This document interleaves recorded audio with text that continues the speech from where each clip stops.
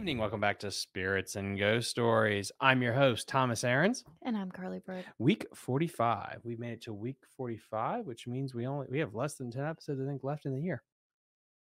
Crazy. And you know what? I am quite terrible at math, guys. So hold on for a second.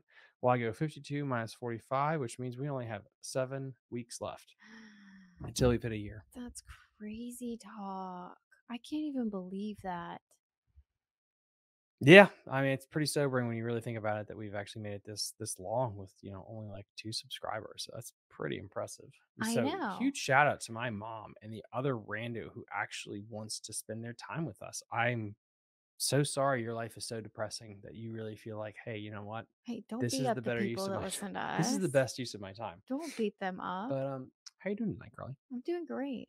I'm doing great. Uh, it's a Friday night, and I am just super duper excited that the weekend is here Mhm. upon us. And uh, cu- a quick couple announcements before we get into today's uh, episode. We sure got a whiz banger of an episode here too. Uh, we're moving episodes to Tuesday mornings when they're going to start dropping Tuesday mornings based on the analytics. Clearly, you guys like it more when I release them during the week, which makes sense. Again, um, we maybe every now and then we'll release them on a Friday, but I'm trying to be consistent, and our data is better when we release them during the week. So that's what I'm thinking that we're probably going to do um yeah besides that and we're gonna have a cool spooky episode next week uh really to kick in the summer more summertime vibes say summertime vibe kind of ghost stories getting back to our roots you know we're called spirits and ghost stories and we pretty much should be called like cryptids and monsters so Let's go back to why we're going to have a spooky ghost Oh, you're story right, next you're right. week. We'd like to give a shout out to one of our YouTube subscribers. Um, your handle on YouTube is Lady of the Veil. Thank you so much for your comments, your feedback, your love. We appreciate you. yes Thank you for watching our vibes, vibes. episode and thank you for giving us some recommendations. Because of you, we are doing our ghosty stories again next week. So be on the lookout for that. Yep, and, and and this is just to show everyone if you guys want to comment, you can email us. Uh, if you listen to us on Spotify, iHeartRadio, uh, or Apple Podcasts, there's a link in the episode description to our email. Email us a comment. Uh, actually, one of Carly's best friends was actually made because they're talking about how I sound like a '70s porno. Um, so, and I guess I'm trying to tie that into. I don't know how I'm going to tie porno into this, but my point is, Yeah, so send we- us a comment and you'll be my best friend, basically, is what it boils down to. the point I'm trying to make It's is that easy. if you reach out to us, we're going to answer and we're going to take your criticism and your critiques to heart because we want to improve the show. Um, this is one thing I really I enjoy about Fishing DMV right now, which is the other podcast and YouTube channel that I run. A lot of comments and feedback, and so it's like easy to try to steer and adjust the show. Mhm. And so everybody that re- reaches out to us, we take it all in stride, and we want to try to perform. You know, try to perform, and make the best content possible, right? Right. So thanks, a huge shout out to you. Thank you so much for for commenting on our video. I really, really do. We really do appreciate it. Um, it makes us feel really good that you know people do care besides our parents and they actually watch this stuff. Yeah. But yeah, 40, So- 45 episodes. Damn. I know you're going to try to roll us right into the story, but before we do that, I'd like to also tell you what we're drinking tonight. Oh, good. Tonight we're drinking a white wine spritzer. We got our wine from a local winery called Linganore Wines out in Mount Airy, Maryland. It's close to Frederick, Maryland. If anybody's familiar with that area, usually people are when they're in this area. Um, basically, it's called Mountain White. It's very, very sweet, tastes kind of like grapes and fruity. And so we mixed basically half a glass of wine with half a glass of our um our fizzies, our little bubbly waters, and then add a little bit of lime juice in there just to top it off because we don't have fresh wine fresh limes right now. If we had fresh limes, we would totally each have a slice on our glass and it would look super Amen. summery and beachy, but we don't. So that's what we're drinking tonight. Tom, take it off. So tonight is a story that I've been wanting to tell for a while. Uh, there was this documentary series that was on Netflix and YouTube, and it was called Missing 411. It's a series of books, and it's also a couple of film documentaries, and it, and it documents cases of people who have gone missing in national parks and other places like that. And it maintains that these cases are unusual and mysterious. And uh, at thought there, you'd be like, ah, yeah, how much of this is true? This is the creepy part is when you actually do the research and then no matter if you think and there are tons and we're gonna get at the end of the episode like the speculations and stuff like because everyone has like to aliens to just people just like falling into a pit or just ra- people being abducted by other people or aliens or skin tons of rumors here.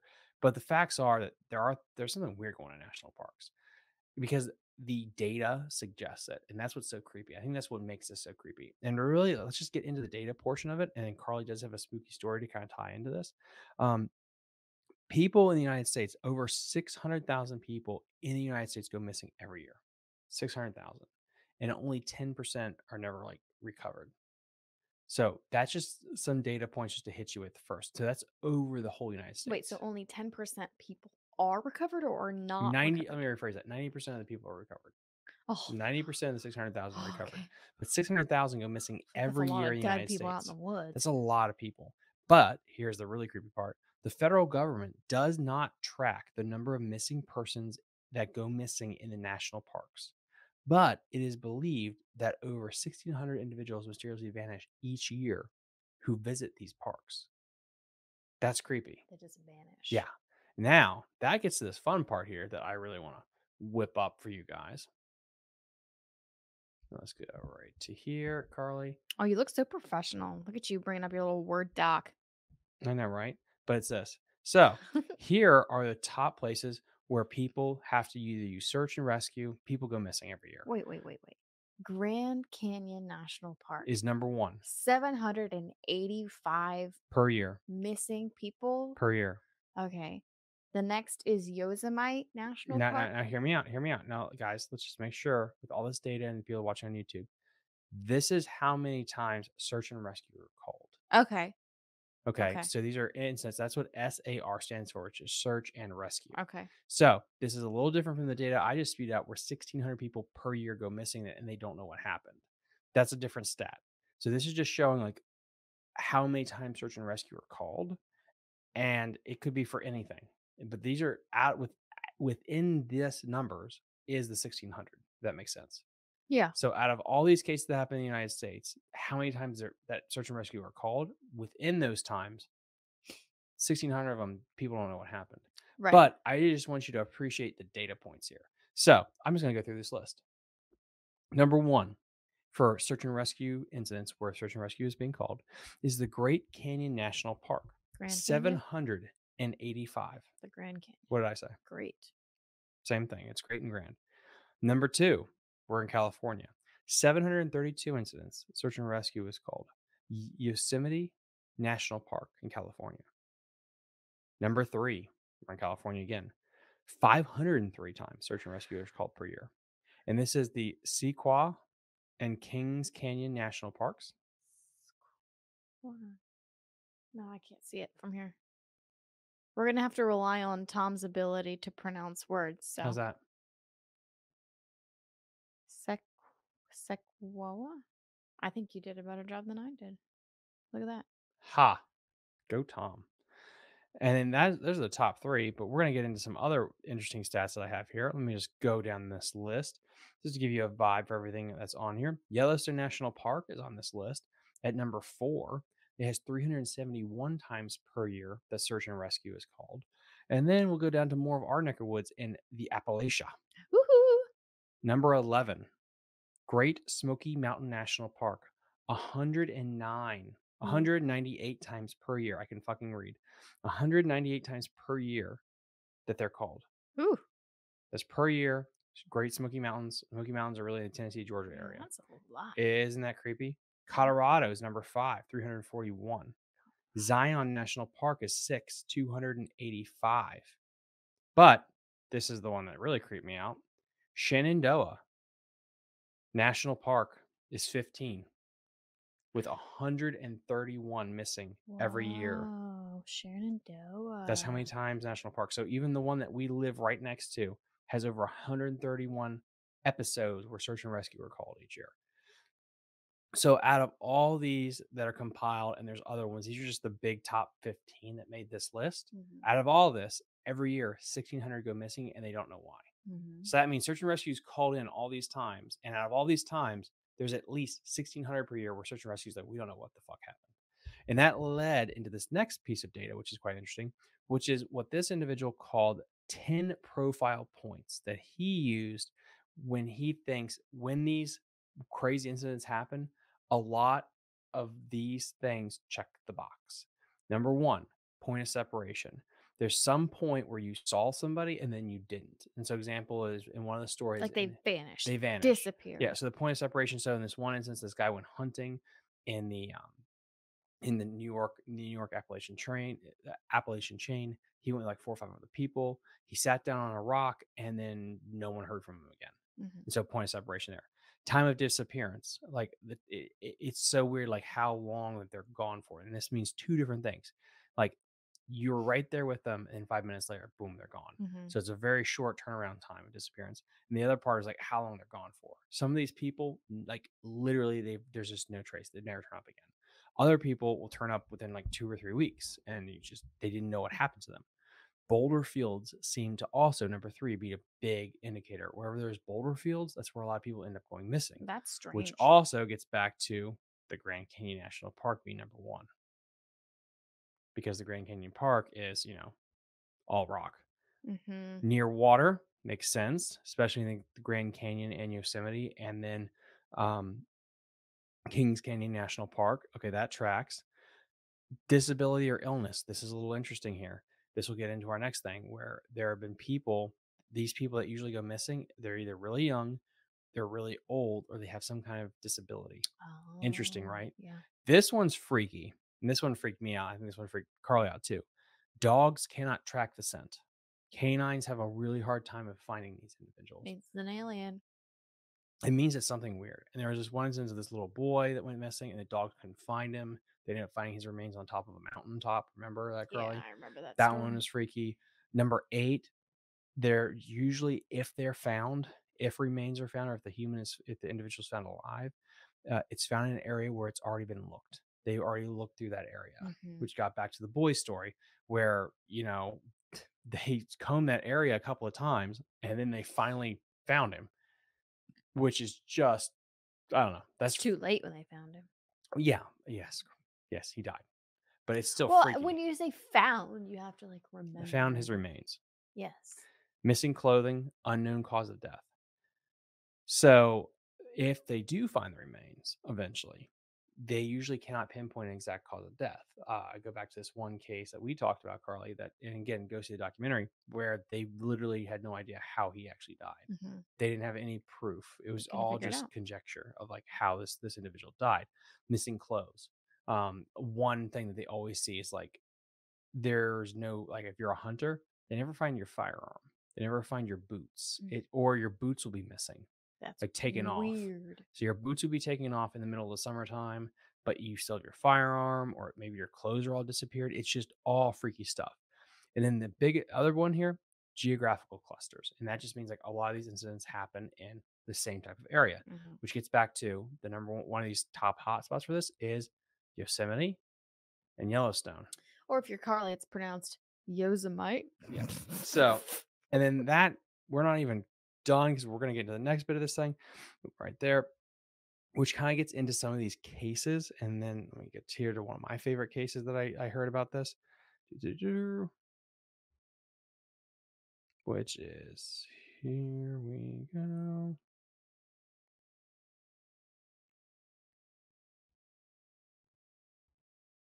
Perfect. So, one of these cases that really caught my eye was Jacob Gray in 2017. Okay. And for you guys that are listening, um, I'm going to do my best for the pronunciation. If you guys are watching on YouTube, you can actually follow along on the screen with me. So, bear with me. I'm going to do the best I can here. But uh, Jacob Gray, this mystery was exactly happened. blah. I don't know why reading for me when I'm under the pressure of recording is so hard. I never understood that. Um, 22 year old Jacob Gray will likely never be solved. The athletic young man rode his mountain bike into a rainstorm in a, uh, into Olympic National Park in Washington in April of 2017 and was never seen alive again. His biking gear were found on the side of a trail, but Gray was nowhere to be found. This kicked off a search, largely championed by his father, Randy, who actually sold his house and closed his contracting business so that he could fully devote his time to searching for his son. That's Mm, that's Sad. sad. Randy spent months doing that, all the while theorizing about what could have happened to his child. He considered hypothermia, accidental drowning, and an accident, and so on. He also worried that boogering, boogering, Like like a like a burger? Burglar? Burgerian, B U R G E O N I N G, and Burgerian? Yes, spoilers, Burglarian. guys. Our next episode, I'm just gonna try to read Cat in the Hat, and we'll see if I can botch that That actually too. would be really fun. But we need to be more tipsy for that. just to be watched Cat in the Hat, yeah. Also, with the, bo- the boogering, mental health issues had gotten the best of him. Also worried I don't that know what that word his means. Ongoing, we're going to call it mental health issues, had gotten the best of him. In August of the same year, he had gotten a phone call that a group of researchers had found Jacob's remain in supplies higher on the mountain than anyone expected. The likely cause of death was hyperthermia. This story, to me, what's so freaky about this is like how it does hit on a couple of things that he said. You know, it's isolation.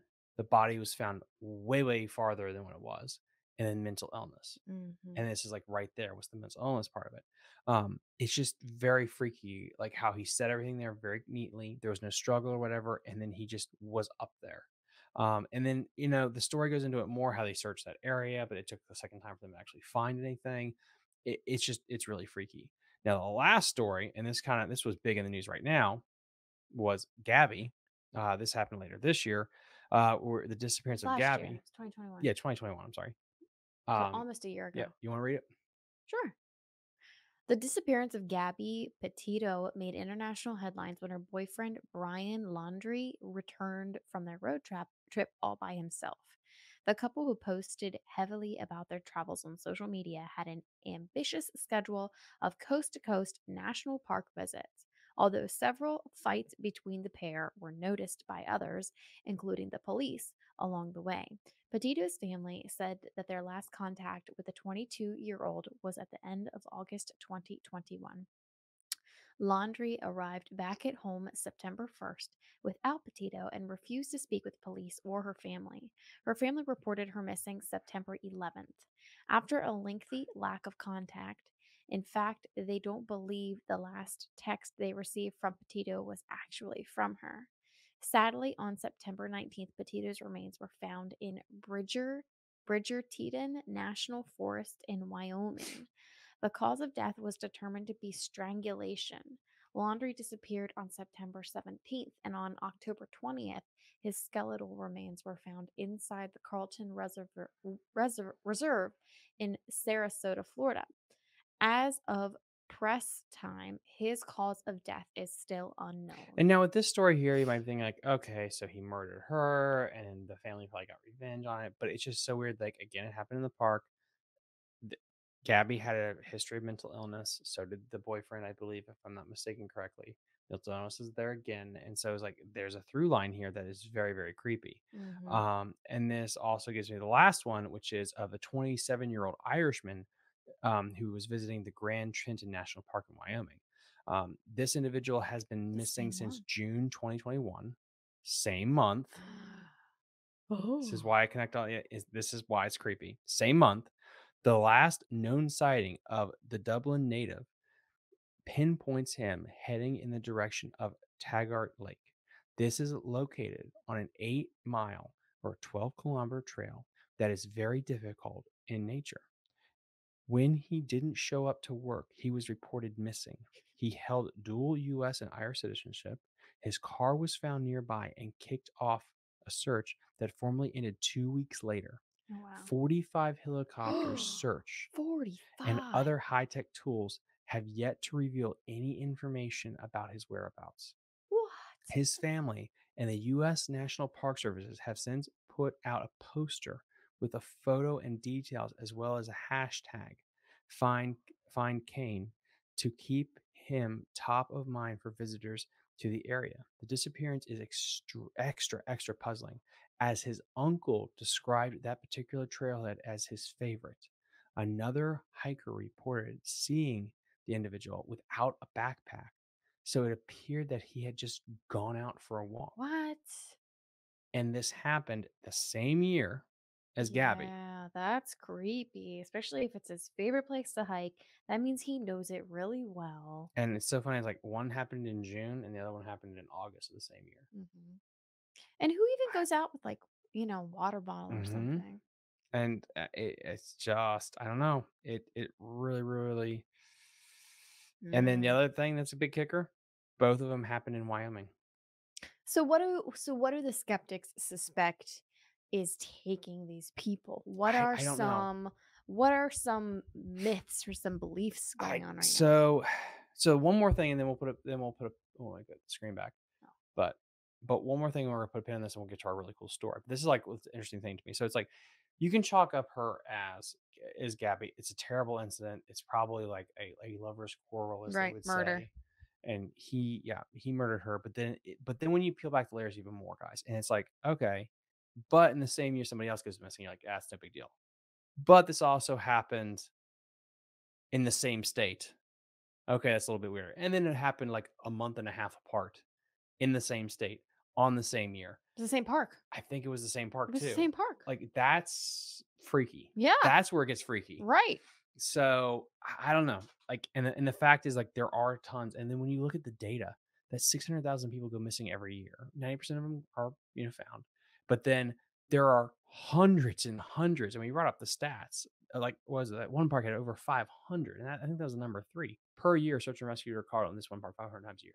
So out of all these times that search and rescue is called, the It's fact more that than once a day. yeah, and the fact that sixteen hundred per year just vanish, Yeah. and then what makes it even more incriminating or just weird is the fact that they don't keep these stats of like how many people like disappear and never come back. It's a guess at 1600.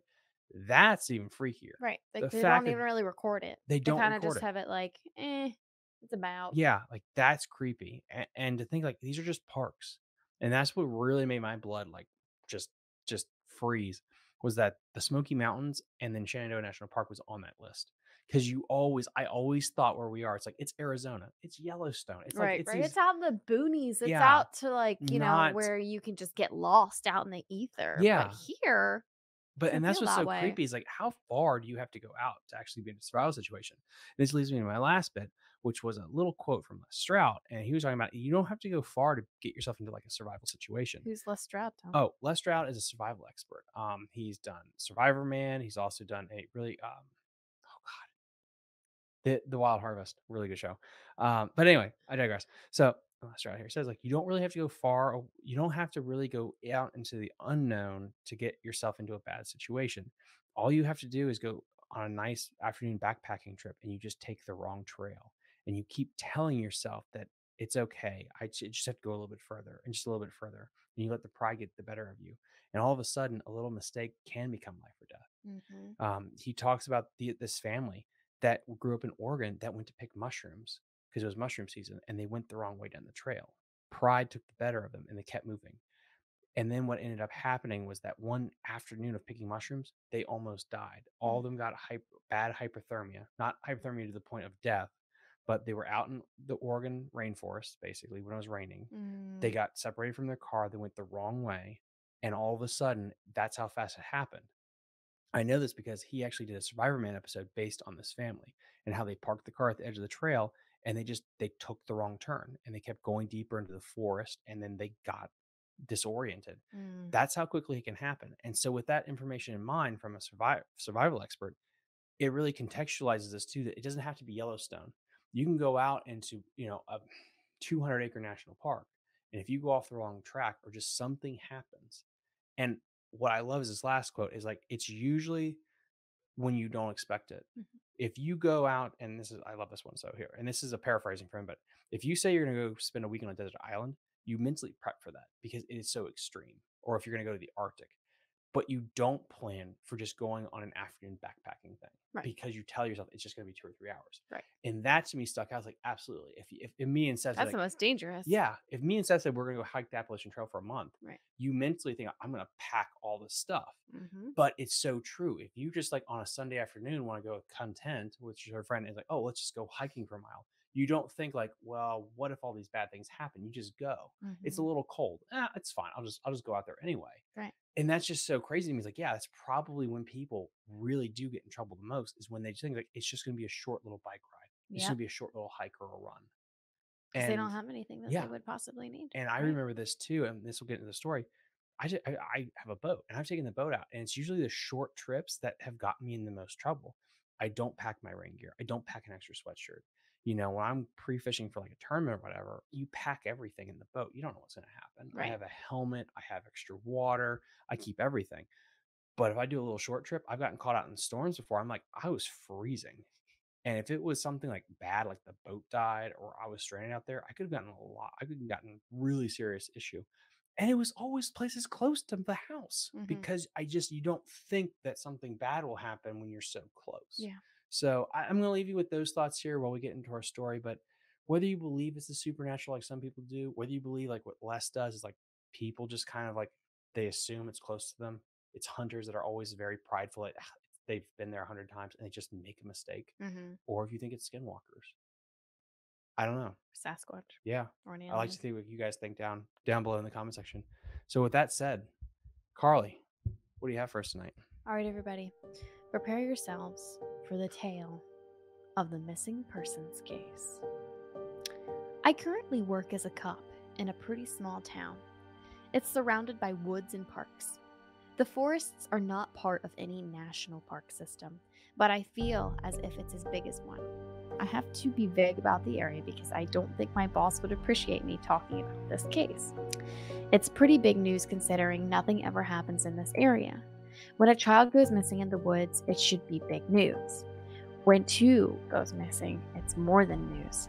I never told anyone the truth about what happened in those woods when I took a day looking for those children.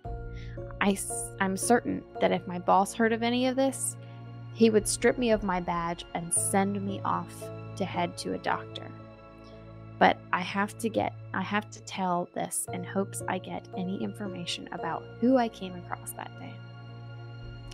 I had an early midlife crisis and changed careers. I came, I came from a long line of police officers and had planned that to be my future. But because of some complicated and boring reasons, I chose to do something else with my life. Then later on, I regretted my choices and I did what I needed to do to become a cop. Even though I looked on the older side, I didn't actually have a lot of experience in law enforcement.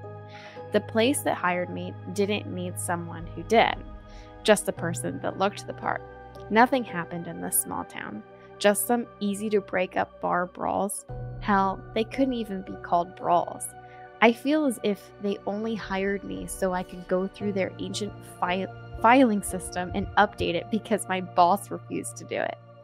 While I was organizing the mountain of old paperwork and cases, I found out this town had a pretty regular pattern of hikers going missing on the trails. But after looking at the nat- national average, I guessed our town wasn't anything special.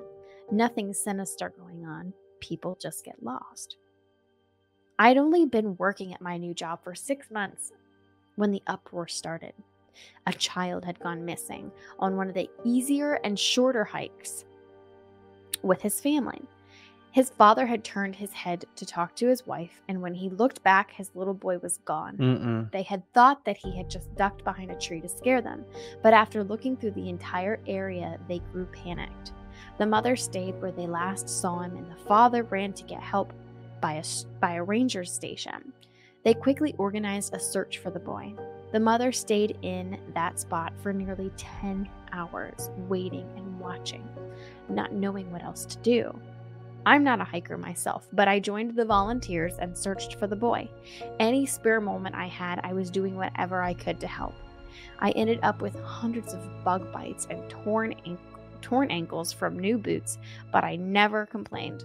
A child was out in the woods and we couldn't find any trace of him. To get even darker, then a girl was lost. She was a classmate of the boy and wanted to help. Some volunteers humored her and let her run water to people searching, but she could only go a few feet into the woods. If she saw someone coming near the end, near the trail end, she would run up and give them a cold water bottle. She was in sight the entire time. Again, someone turned their head as she took a step onto the trail, and when they turned back, she was gone. The people who said she had been walking towards hadn't turned their heads. The people who she had been walking toward hadn't turned their heads. They were completely bewildered and questioned what they had seen. Mm. She simply was gone in a blink of an eye. No one had a logical reason for it, so they didn't dwell on how the children disappeared, only that they now had two missing. Helicopters came and scent dogs joined the search, but after a week the search was the search was trying to recover a body. Two children under the age of 10 in the woods for that long wasn't likely to last. I had been doing whatever I could in those days but felt useless. My boss noticed how badly this case was on my health and forced me to take a day off. After all, I wasn't a hiker or an expert in cases like these. I had done everything I could, and if I kept hiking, I would burn myself out. I felt like there was more than enough people looking. I could rest for a day and got back to it full force. I did not listen to him. I did not go to bed early the night before so I could be up at the crack of dawn. Oh, I'm sorry. I did go I did go to bed early the night before so I could be up at the crack of dawn to go back to the trails. I wasn't a part of the volunteer team, and my boss told them I shouldn't be out there that day. They gave me some looks, but let me go hiking as long as I promised to stay on the short trails and not go into the woods, which I agreed. I could get lost, and that wouldn't help anyone. No. I knew I wouldn't find any traces of the children on the trail that had been looked over at least a hundred times before, but I still couldn't just stay home. That's how I spent my free day hiking trails and getting more blisters on my ankles. I had a backpack of some supplies. Even though I had hiked for the entire day, I wasn't very hungry. I think the stress was getting to me. I still had some water and a granola bar in my in my pack near the end of the day. I was in the middle of a somewhat longer trail I had gotten permission to search on when the sun had started to set. I decided to start heading back, but knew it would be dark by the time I arrived at the end of the trail and to the ranger station in the front of the woods. I knew I wasn't going to find anything, but I still felt disappointed, ending the day empty handed. The orange light of the sun had faded into a gray light, a strange gray light that made bright colors pop. I had forgotten how strange that time of day looked. My orange shirt nearly looked neon in the gray light. Because of the odd light, I saw a bright white on the trail, easier than I might have any other different time of the day. The trail had a slope to it. I had just reached the top, ready to go down, when I saw that white on the trail. I squinted to see a person standing wearing a long white and baggy sweater. The day had been hot and not at all sweater weather. The person was short and my heart started to race, but this person didn't look short enough to be seven but it was still very strange to see a preteen just standing in the middle of the trail. I went down the slope towards them, hoping I looked friendly and they didn't book it to the woods. Hey, are you all right? I asked when I was a few steps away from them. At first, I thought they had been wearing a long white hat of some sort, but when I got closer, I saw their hair was pure white. Mm. Either this was a very short older person, or this child dyed their hair. I noticed they weren't wearing any shoes and found that strange. Their feet weren't dirty from walking in the woods, and I didn't see any abandoned shoes around the trail. I had no idea how they went bare feet without tearing up their soles. Hearing my voice, they turned to face me. They were a child, like I had first thought. Their hair fell over their face, making it hard to see. I guessed they were a boy, even if they had hair on the longer side. Alarm bells were ringing just in the back of my head, but I couldn't ignore a lost child in the middle of the woods. I'm a cop. You're safe. My name's Hugh. I was carrying my badge in my backpack and I held it out for the boy to see. The boy still hadn't spoken or reacted in the slightest, but at least he was looking at me, showing me he was listening. Are you lost? Where are your parents? I asked, as gently as I could. I couldn't blame the boy for being scared of a random man. coming up to him in the woods. I hoped he trusted me enough to bring him to the ranger station so we could get help. We had to find out where the boy's family were and make sure he wasn't in any kind of trouble. Mm-hmm. Protective instincts I didn't even know I had were kicking in. I wanted to carry him out of the woods to make sure he wouldn't hurt his feet walking, but getting any answer from the kid would be a win. Best not to make him too uncomfortable. He hadn't responded to any of my questions, so I got down on his level and t- kept trying. What's your name? Ellie. I finally got something out of him. His voice was soft, so I could barely hear it, but I had a name. I'm going to the ranger station. How about you come with me? If you feel comfortable with it, we could hold hands so you don't get lost. I saw his hands fidget a little at the end of his large sweater, and his eyes darted back and forth, considering what I had said. Because I had gotten down a bit lower, I could see his eyes through his white hair. His hair wasn't dyed, he was albino, judging by his pink, reddish eyes. A rare condition I had never seen in person before. Mm-mm. I heard people with the condition had bad eye- eyesight. It would be dark soon, and I was surprised there was still light after how long we had been speaking. Holding hands would be a good idea if he couldn't see when the sun did, did finally set. He came to a decision and held out his hand to let me take it. He seemed like a shy kid, so I didn't push any more conversation, and I took my small win. When we started to walk, I kept an eye on the ground, making sure I was guiding him away from anything that might harm his feet. I wish I had brought a pair of extra socks that day. Ellie was very light footed, though. He carefully walked around the twigs on tiptoes as if it was his as if it were second nature to him. I remember not wearing shoes as a child, so maybe he had just adjusted without them. I wished I had a way to leave a note where I found him. If his parents were nearby, they would be worried, but I assumed they would go where we were headed once they couldn't find him. I had my phone on me. I was glad it was was still charged. Still holding Ellie's hand, I tried to unlock my phone with one hand.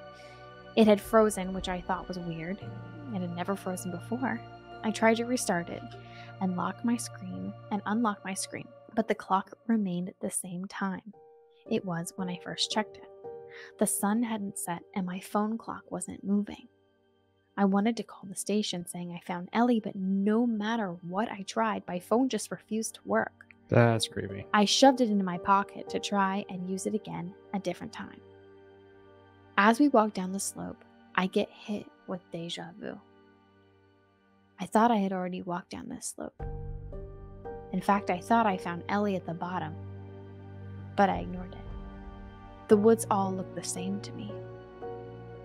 I could just be getting confused by my surroundings in the dark. I was never a good hiker.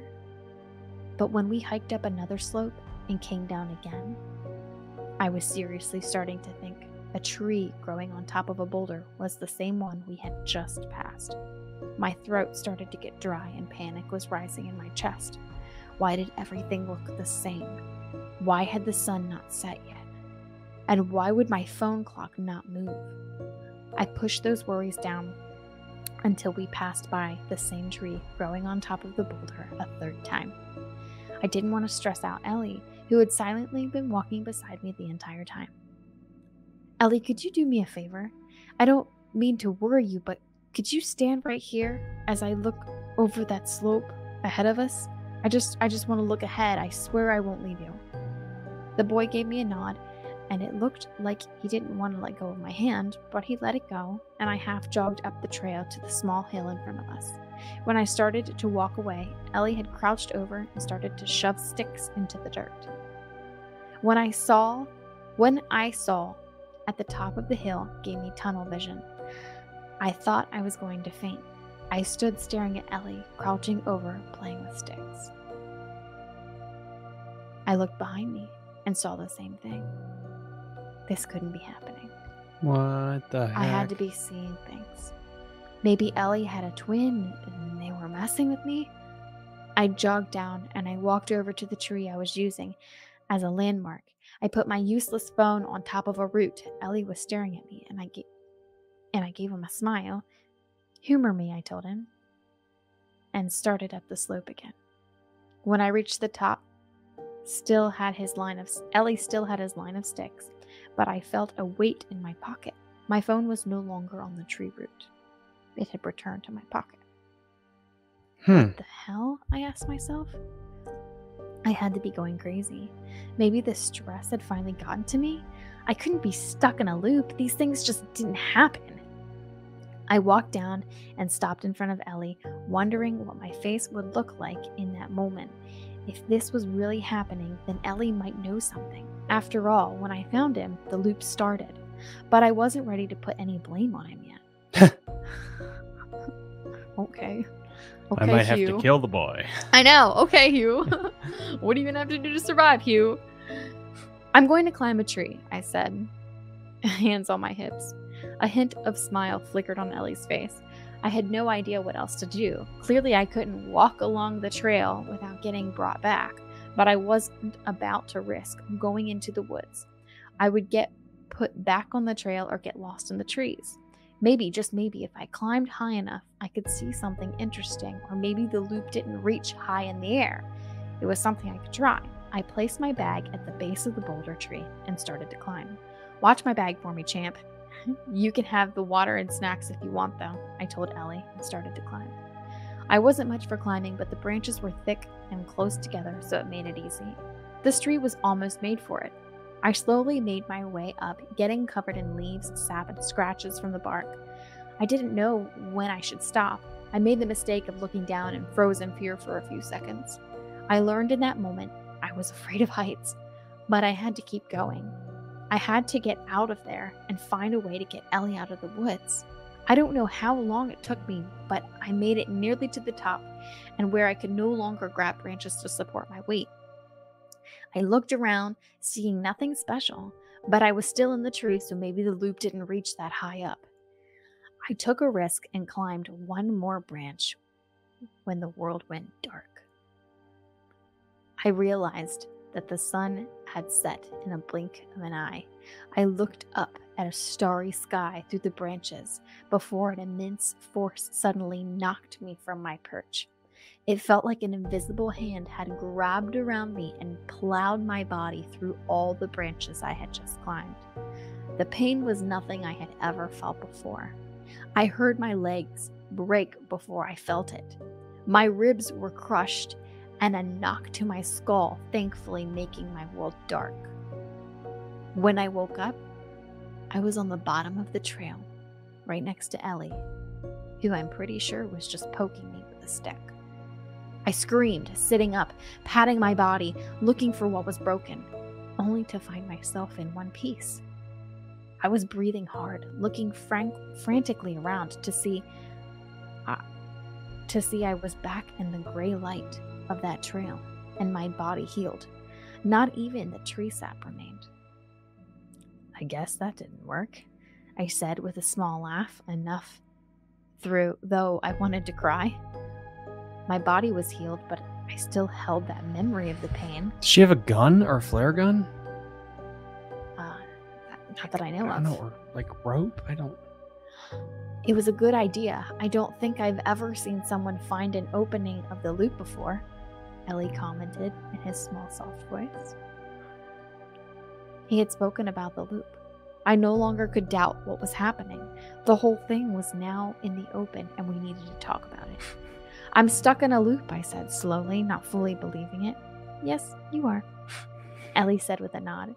He was making doodles in the dirt with his stick, as if the strangest thing wasn't happening. He's probably been there a while too, so he's probably already had his mental episodes. Like all of this was normal. I stared at him and the sticks he had placed in a circle in the dirt, and I thought suddenly, and a thought suddenly came to me. I'm stuck, but you're not. The sticks Ellie had been playing with remained when my phone was returned. It may have been because Ellie hadn't moved, but his wording made me clue in. He didn't agree we were both stuck, just myself. I pulled my pack next to him and patted on it, giving him a place to comfortably sit. All right, champ, take a seat. Let's figure out what's going on. With both of us and the unlimited time, I'm sure we can figure out why this is happening. You're not going to accuse me of trapping you? Ellie said. And the surprised tone in his voice was the most emotion he'd shown since we met. Nope, you don't seem the type. I could have sworn I saw his ears turn a little red through his hair. He sat on my backpack, knees tucked inside his sweater, making him look very small. But for the small child he was, I knew in that moment he might not be human. Duh.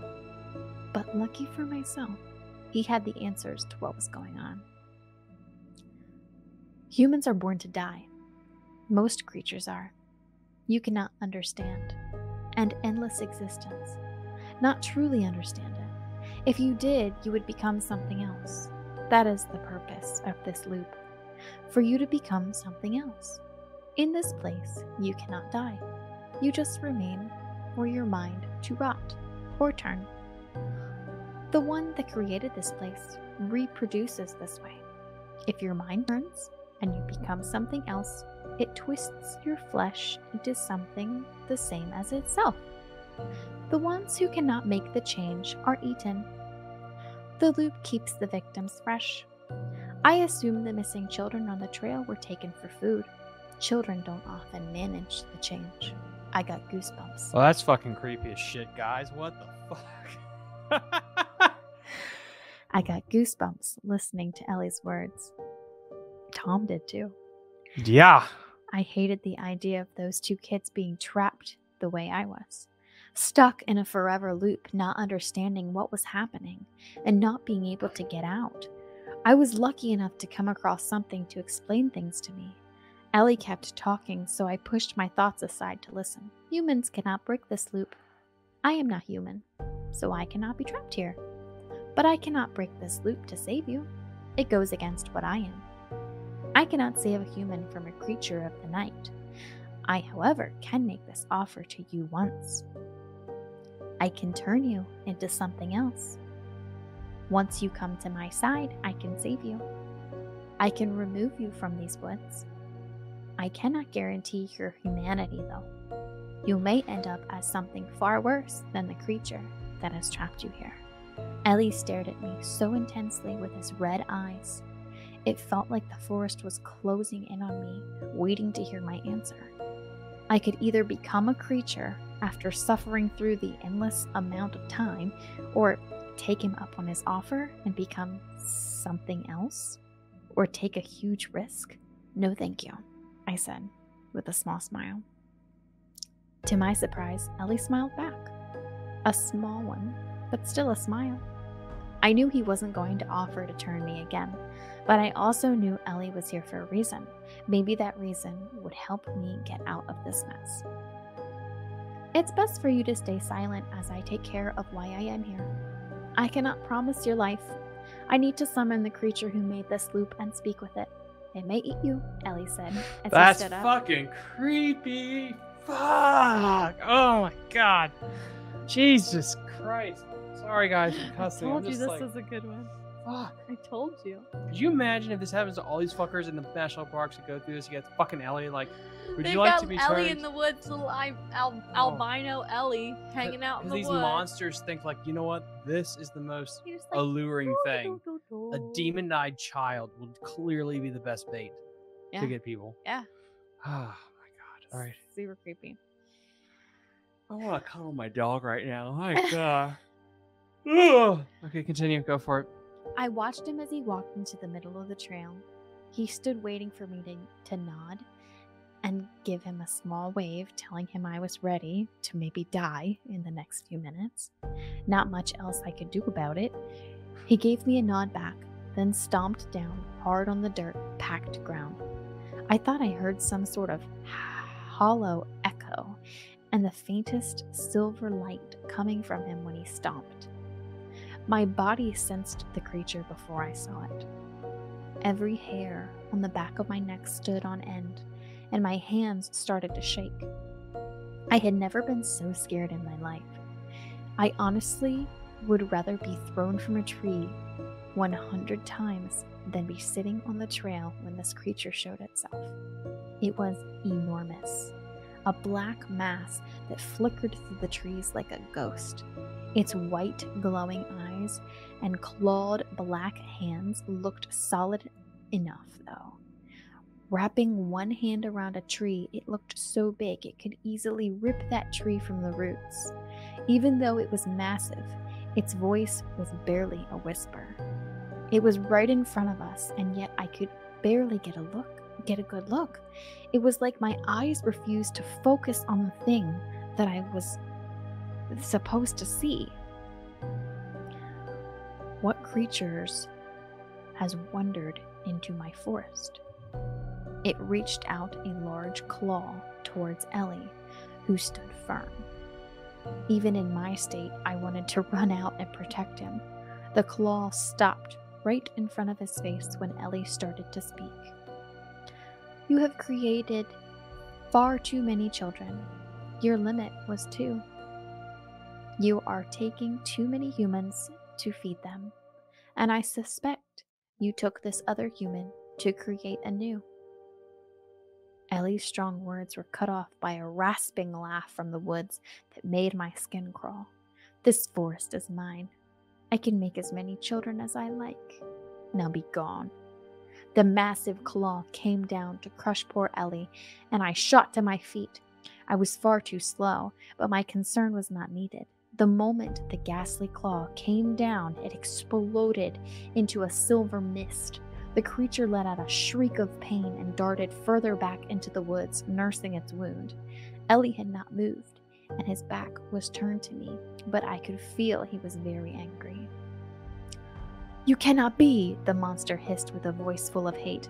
The Silver King is dead. I can never die, and you have insulted me beyond going past your child limit. As a punishment, you must kill the most recent ones you have created. You must also break the loops of the humans you have trapped. Humans that are most suited to be returned to their world, adjusted to live peacefully. You'll go hungry for a while, but be thankful for your life. The monster hissed more and darted back and forth between the trees, considering what to do. It clearly wanted to kill Ellie, but couldn't. I didn't believe that Ellie, the small child before me, was a scarier monster than the dark thing in the woods, but the proof was the thing not attacking again. With more pacing and hateful hissing, it agreed. Oh, thank you, my Silver King, for sparing my life this night. I shall never forget it. Never. I had never heard such pure hate before. It made me feel sick just listening to that dreadful voice. I had no idea how Ellie stood so still with them directed towards him. He was a tough kid, it seemed. I expected something special to happen, but I just blinked and everything returned to normal. It was dark, meaning the sun had finally set. Ellie stood in the same spot the monster in the woods was gone. I checked my phone, finding it to be working again, but I didn't use it to call for help. I knew I was safe to walk to the end of the trail and out of the woods. Ellie looked at me with a hard to read look on his face. It lightened when I offered my eye my hand to him so we could continue the way we had started. Even in the dark I saw his face flush a little. He was a big important figure among very scary creatures. I don't think he often was treated like the child he was and appreciated the gesture. I wish I had spoken to him on our walk. I didn't know what to say after everything I had seen. I was going through ideas in my head when I saw something else on the trail in front of us. My throat closed. I felt tears come to my eyes. The missing children stood alone, holding hands, looking very scared. I let go of Ellie's hand to run over to the poor lost children. I checked them over, finding them to be safe and perfectly fine. But when I looked back, Ellie was gone. I was a bit suspicious bringing two of the missing kids out of the woods, two kids that should have been dead and looked the same as they did when they had gone missing. But I had a solid alibi. When they had been on the trails, one of me was on camera buying gas, the other one was of me with 10 other volunteers when the little when the little girl had gone missing. Some people thought I was working with the ones that had taken them, but with no proof, the matter dropped quickly. No one could explain what happened, and I was not offering my strange tale. The kids said they had just been stuck in one spot for a long time and didn't get hungry. Since they were so young, the police didn't know what to make of it. The case came to a standstill, but most people were just happy the kids were found.